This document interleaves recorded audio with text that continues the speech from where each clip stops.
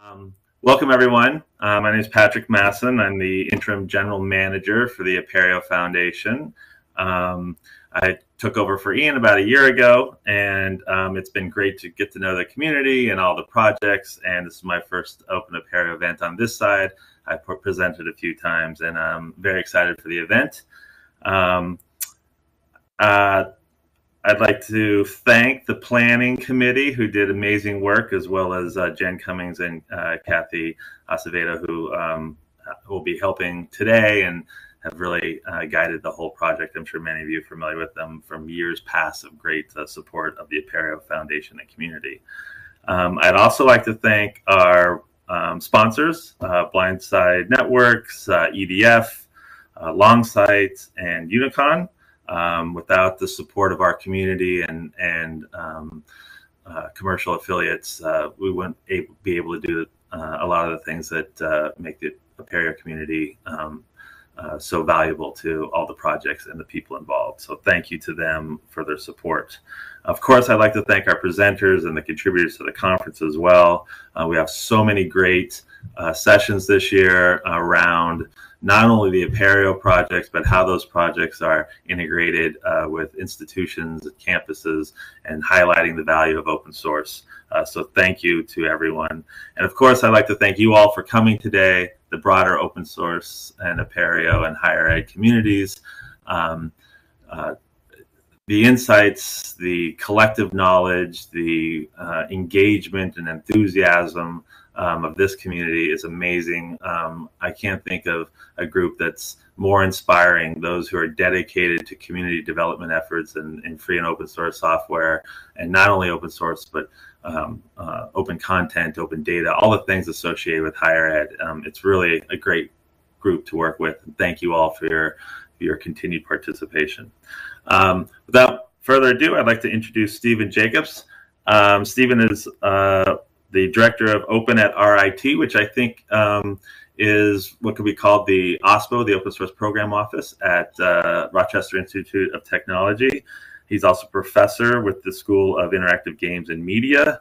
And um, I believe he was part of also um, one of the first, or maybe the first, at least in the United States, um, academic programs, degree programs uh, for free and open source software, free and open source software and culture, I believe is the full name. Um, definitely made headlines when it came out, and I can th- I think serves as a model for the integration of open source development models and uh, academic programs uh, on a, at a university. Um, he's an inter- interdisciplinary scholar who works in several different areas that often uh, overlap, including, as I mentioned, the free and open source software and free culture program, uh, digital humanities, game design and history, and interactive narrative. Um, his open work has been funded by the Ford Foundation, the Sloan Foundation, UNICEF, uh, the All Children Reading Grant Challenge, the Zero Project, the Linux Foundation, Red Hat, uh, Northern Telecom, AT&T. So if you need money, I guess you should talk to Stephen. Uh, Stephen is a member of the To Do Group. Uh, folks aren't familiar with To Do Group. They're a, a industry group that's uh, helping to develop OSPOs within uh, organizations. It might be of value for you if you're interested in that on your campus. Um, he's also a member of the OSPO Plus Plus. Uh, the CHAOSS Value Working Group. CHAOSS is an organization that helps assess the maturity of open source software and development. Um, so, without any more, I'd like to introduce Stephen and thank you, Stephen, for uh, meeting with us and sharing your work. Hi, folks. Um, thank you as an audience for putting up with our challenges of technology today. I'm actually calling in via the phone and my video camera seems to be going between freeze frame and live, so the image may not be live, but here I am in my glorious hotel room. So Patrick, if you'd be so kind as to hit the next slide. Um, all right, so I am currently the director of Open at RIT, which serves a bunch of different functions. Like Patrick said, it's uh, an open source programs office. And for those of you who aren't familiar with them, they're an industry construct that supports open source within an enterprise. They come, they, they do a variety of different things, including dealing with compliance issues, training their employees on how to participate in open source, ensuring that open source work that they do is compliant across licenses, releasing open source work out into the world from the companies. They do a bunch of different things. Uh, in the last two or three years, starting with Johns Hopkins, these have started to pop up in academia. Um, Hopkins was the first in the U.S. We were the second in the U.S. There's now about six or eight and more coming. Many of the early ones were funded by the Alfred P. Sloan Foundation. There are also some out in Europe and elsewhere. That's some of the work we do. We try to be a center of gravity for open work in academia, so our best practices and policies and playbooks and grant support that we do for our faculty, we're also able to do for other universities and nonprofits, so we try to do that work. Um, we do our own research. We both do traditional kind of um, qualitative research on how open source is working within communities, and we do applied research and development as well, most particularly a package called Mystic, which is developed in a very alpha stage at the moment to help uh, faculty explain to their universities how their open work um, has the impact and translation you need to get your annual ovation and your promotion and your tenure and things like that. And then we also do pedagogy. So we sit on top of the courses, the academic minor, and the immersion, which is a set of three courses rather than five that's kind of unique to RIT that we offer to our students. So we do a little bit of everything. And uh, next slide, please, Patrick. So we're talking about value, and I'm, I'm particularly interested, what drew me to open source uh, was really a question of value. I'm really a film professor gone horribly wrong, and I'm now a professor in a, one of the largest colleges of computing doing games. But what got me into open source was, for those of you who remember it, the One Laptop Per Child project, which was kind of the progenitor of the netbook cross industry. It was dedicated to um, developing world educational applications, a project out at MIT, and I started to have my students build educational games for that platform and those communities. And so the values of being open were what really attracted to me. We hit the dictionary, value gets used as all of these categories you see there monetary worth, fair return, utility or importance, and principles or quality. And a lot of values are embedded in being open overall. And if we can go to the next one, Patrick. Um, so all of these types of values are kind of embedded in open source and open work in academia, right? And we've got these high level categories of the actual cash, the values and how the entity values the work that's done. And we're going to dive into those in depth in the next couple slides. Patrick, can you please? All right, so honestly, in the world, a lot of the things that attract people to be participating or taking advantage of open work is the cash right? That it's generally lower cost or even free, and therefore there's a savings there. So there's less hard cash put out, and that often is what first attracts people. In fact, the entire term open source evolved out of the confusion around Richard Stallman's creation of the free software um, movement and the confusion between free in terms of being free from intellectual property restrictions versus free being you don't have to pay for it. And industry then moved away from the term free software to open source software. And in Europe and in other places, you'll often see it referred to as Libre software, which you know is, is liberated. So that we're not talking about the financial value, we're talking about the fact that it's not restricted by IP licenses. So that's where the, the open source and the financial piece comes from to begin with. Um, there's a debate about whether you really save time. Do you save staff time in um, moving from open to proprietary stuff? Um, sometimes you do, sometimes you don't. Um, sometimes there's not as much features there. That's an issue for people who are used to a more commercial projects with a larger base. Um, the power of open source is that you can customize the software to your work and what you want to do. The downside is that you can customize it. And so therefore you're putting time and energy into doing it, and sometimes you fall down this rabbit hole. Ideally, you're also investing in the true collaboration involved in open source, and you're actually having your community, your employees contribute back upstream to the main project, and therefore they're investing time in doing stuff to make the product better, to make it more sustainable, to share your customizations with other people.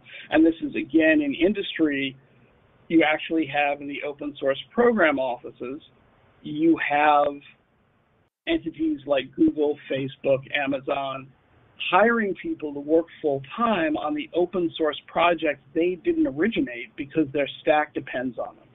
So true collaboration means that you're also often putting more staff time than you would with a proprietary project because you can't do anything with it. So there's a trade-off there. Uh, next slide, Patrick.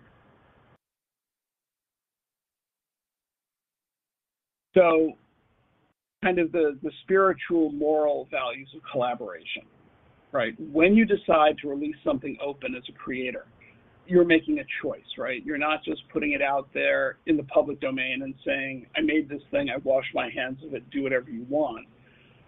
Or here it is, I've released it freely and do whatever you want. You're saying by putting it out there in the open, you're encouraging collaboration, you're encouraging teamwork, you're encouraging dialogue.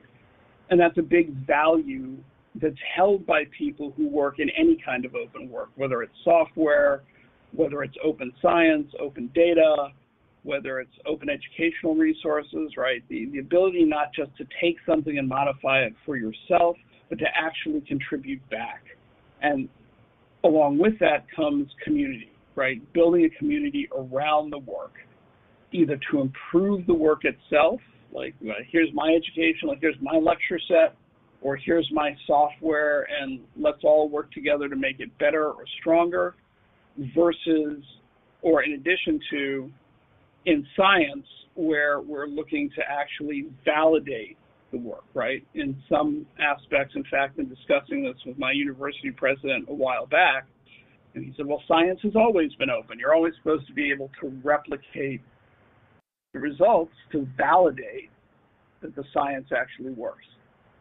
And we had this conversation in which true open science goes much farther beyond that, where you're actually publishing your research plan and where you're trying to build this active community working together. We see this most recently, of course, in the, the universal reaction and research around COVID, right? People sharing their research results immediately so they could be validated, replicated, and we could get to the vaccines we've gotten to. It's a big piece of open science. Um, next slide, please, Patrick.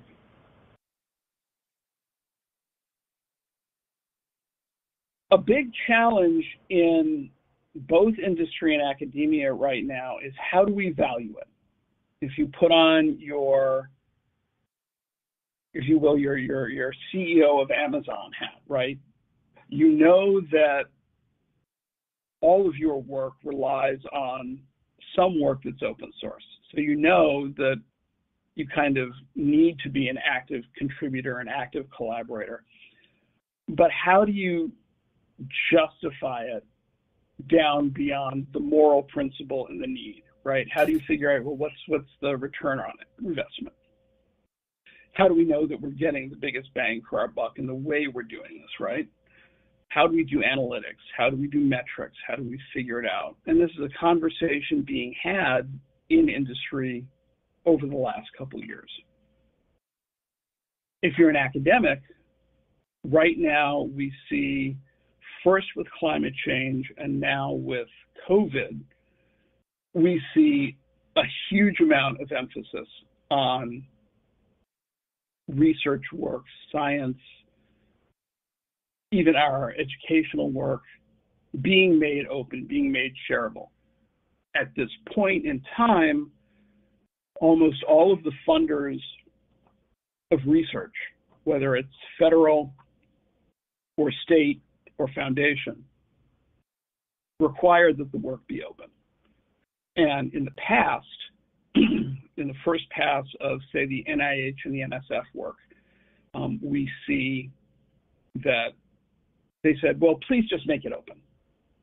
And now we see eight years, 10 years later, especially most recently with the NIH uh, new data policy, it's not just put it up in a folder somewhere where people can look at it. They're being very specific about making sure that it's understandable, relatable, it's maintained, that even before you do the research, when you're doing the initial grant, you've already defined how the data is going to be shared, what the formats are in, how people can access it, how you're going to continue to keep it live after the funding runs out. So there's a very big effort.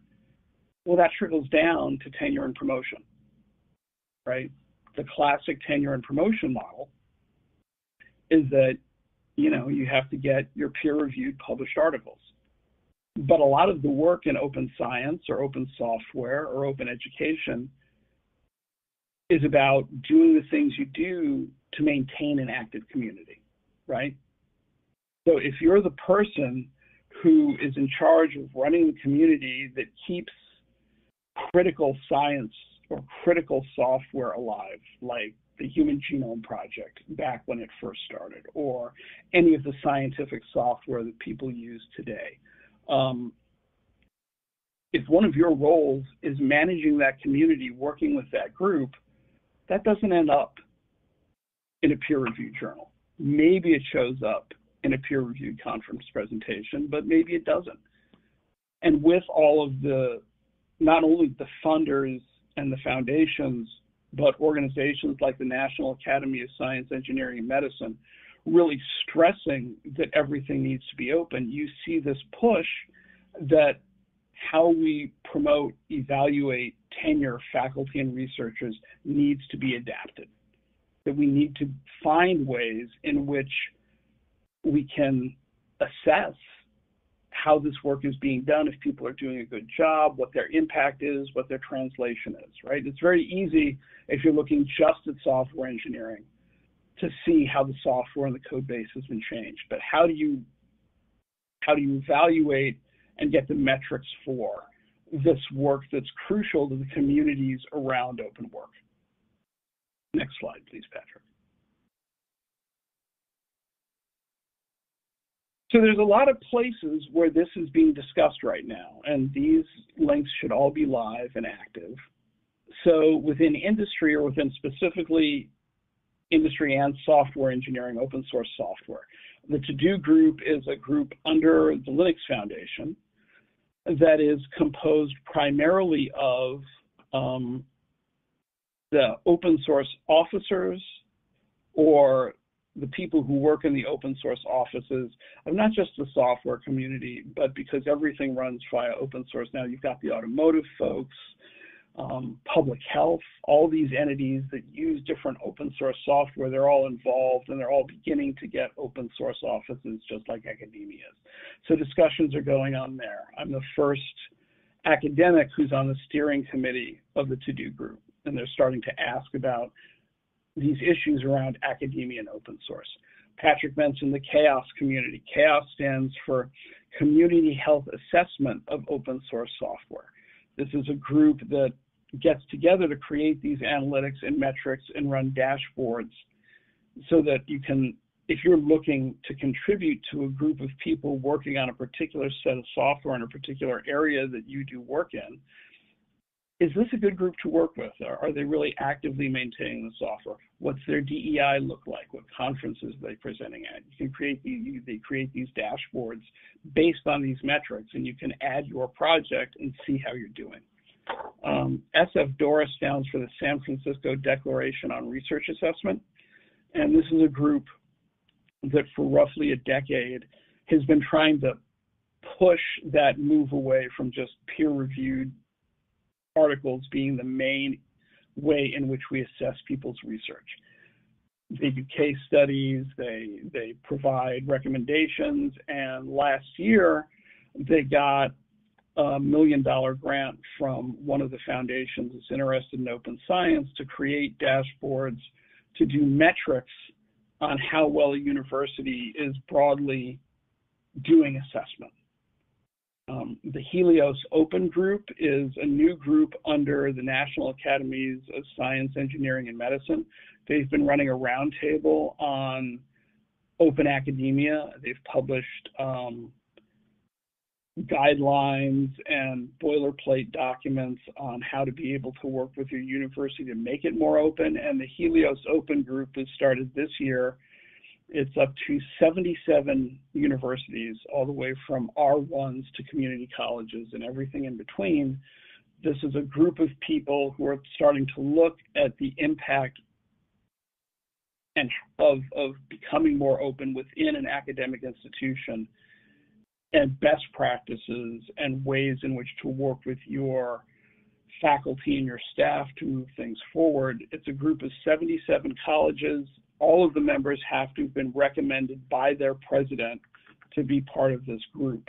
And most of them are at um, the dean, provost, associate provost, or even the president's level themselves, all trying to move um, academia to function in a more open way. And finally, the last one is a convening that RIT is holding this September 7th through 9th, where we are bringing industry folks, funders, and academics together because I noticed in my 14 so odd years of working and teaching students how to work in the open. In the last two years of doing that for our faculty and our staff and working with other academics, I noticed that industry and academia are having these same conversations in different ways about how do we how do we work better? How do we do metrics? How do we support and value the work that our people working in the open are doing? So these are all places that you can either get involved in directly or get online and see what's happening the to group has a public channel the CHAOSS community is fully open sf dora is fully open and they're publishing their roadmap on developing these um, these tool sets to the web. They're having open working groups that people can join to join the discussions. Um, and then our summit is open for registration now. The only one that's kind of closed is the Helios Open Group, but they'll be publishing regularly. And if your university hasn't joined that effort, you might want to talk to your president or your administration about getting involved with it. And with that, uh, the next slide says questions. So the floor is open. All right, let me turn off my slide sharing or screen sharing. And uh, can everyone hear me? I assume. Yes. Um, if folks want, if folks want to type a question into the uh, public chat, I'm happy to um, draw it to Stephen's attention. Or um, if you would like to, I think you can raise your hand or blurt out um, your question. Um, I'll start though, um, uh, taking the uh, privilege of moderator. Excuse me. So, Stephen, you said um, you've been doing this for 14 years, with the last two years uh, uh, specifically around uh, faculty, helping faculty and the administration. Um, it's going to take every campus 14 years um, and plus two years, or including two years of uh, working with their administration to uh, reach this level. Um, what are some of the barriers that you've encountered in introducing working in the open and formalizing um, open source, whether it's software use development or open educational resources, whatever it might be open. Um, what are some of those barriers? And then what have been some of the more successful um, methods, solutions that you've used to gain adoption, well, interest and adoption uh, at RIT? All right, so it's a multifaceted question, Patrick. I'll try to answer piece of quickly. First, 12 of those 14 years were in growing that program to teach students, going from one class to two classes to a co-op and internship program to building the five course minor. So the, the faculty and culture change focused work has only been in the last two years. And our first stab at that was when we got our grant from the Sloan Foundation. A lot of that money went to a fellowship program.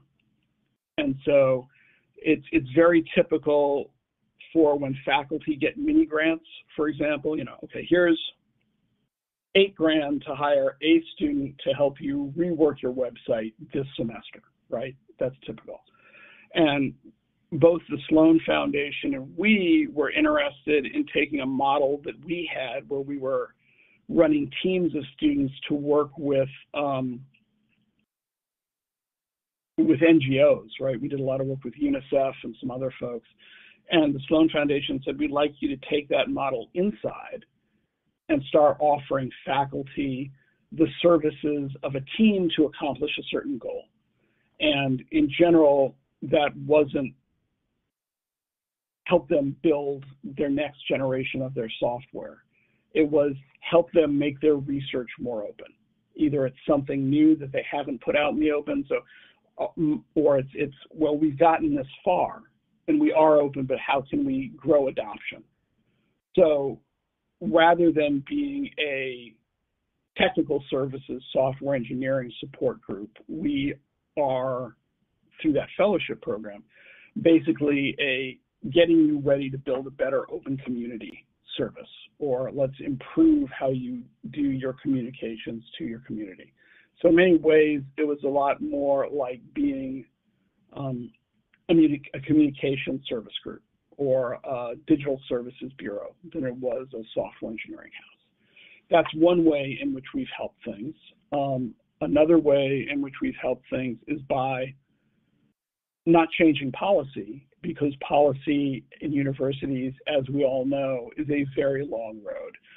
So to answer these questions, to, to answer the question of how have we changed the culture at RIT, the answer is, well, we've started to try to change the culture at RIT, right? You know, I expect, um, you know, I was asked just the other day how long I expected it would take to change the culture. And, you know, I said, culture change is slow anywhere. And in academia, it's often even slower because there are so many different groups you have to get approval from. There's so much buy-in. So I said, if I'm successful in three to five years, um, that'll be great. But in the meantime, because we can't on our own decide policy, when you go to our website, the Open at RIT link on the first set of the slides is a live link. And if you go to that, um, you'll see we've published playbooks, we've published best standards or best practices for making your work open and not just software, but your data, so on and so forth. Um, we've published a group of recommendations and readings for people who are trying to make their case for their open work as part of their tenure process or their evaluation. Here are ways in which you can try to promote that stuff.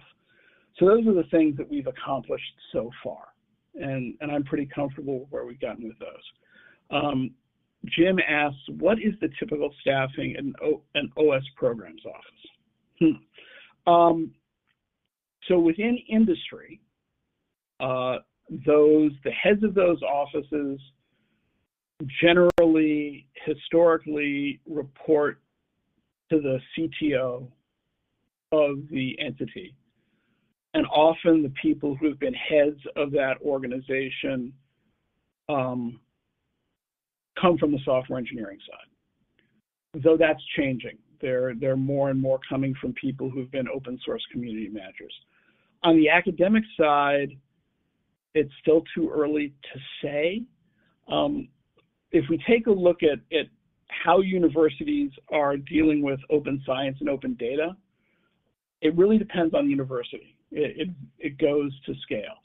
At MIT, MIT said to each college, you know your area, you figure it out, you do your own stuff. Um, in this Helios group, you'll see that um, probably 50% of the people who are members, i.e. the designee for their university by their president are out of the library. That the libraries is the place where the open access publishing work has been done, often in universities. They're the lead on this effort. Um, so it's it's kind of broad, Jim. I'm, I'm sorry there's not uh, an easy answer to that. We're we're still too early to decide the typical staffing. Um, basically, within my office, I'm a jack of all trades and master of none. And then I hire staff who are more technical but also have experience in open source community. Um, I see Patrick has one more question, so what you need, Patrick? Oh, I was putting it out there for anyone else who had a question to go ahead and put it in the uh, chat there. Oh, oh, got it. That wasn't your question. Um, All right, so folks? anyone else? The floor is open. A couple more minutes. Um, Jim, right. can um, I guess build on uh, to, to, build a little bit on Jim's question, kind of on the side. Um, one of the things that I consider a success point with us is that once we got started, um, the the new um, associate provost for our IT unit has been having monthly meetings with us to try to figure out how, on that side of the house, they can be more open and we can be a resource for them and vice versa. So I think that's that's been a great relationship that started. But you know these these things take time, and let's be honest, the last two years everything takes longer. The last two years we're all struggling with budgets, we're all struggling with the impact of just delivering our academic process and and, and supporting our students and trying not to burn out our faculty and staff, so everything's slower but the tide is definitely coming. And, and I'm especially interested in finding the ways in which um, we can broaden how we how we support, evaluate, promote people who are doing this kind of work. Because I'm not a traditional faculty member myself. I don't have a PhD, um, and I do different types of work. Uh, there's a question: What uh, fa- uh, what fraction of uh, R1 schools have an OSPO? And well, uh, first of all, I love the name Lake House Watch Party. I just need to say. Um, so, what is the fraction of? It's easier just to to rattle off the ones that are doing it right now. Um, Trinity in Ireland. Us, we're not an R1, we're an R2. Hopkins is an R1. Um, Santa Cruz, I don't know whether they're an R1 or an R2. University of Vermont has one. Um, Sloan just funded one of the colleges in St. Louis that's definitely not an R1. Um, so it's it's kind of a, a number. There are several others that I know are are underway that are R1s, but I, I can't talk about them, unfortunately, because they have not officially announced. But the trend is that, that a lot of colleges are looking at it. And I think what's more, what, what's a better indication is, is, as I said, these 77 schools that are part of the Helios group. And if you go to that website, you'll see the list. Um, very distracting.